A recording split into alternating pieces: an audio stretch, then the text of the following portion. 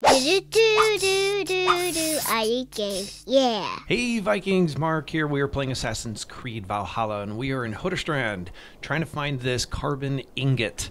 And um, if you're stuck here, I totally get it. I was stuck here for a while too. Let me go ahead and pull up the map so we can make sure we're all on the same page. There is the first synchronization point.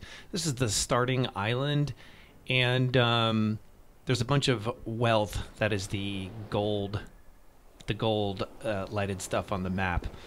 Anyway, when you get over here, it's kind of hard to figure out like what to do next. Well, if you use your Odin vision, which is clicking in the right stick, it will light things up. And what you want to do is use your arrow, your bow and arrow, shoot that little metal buckle, and the ladder will drop, and you'll be able to get up here. And the iron ingot is right up here, along with a couple other stuff. And go ahead and open it up.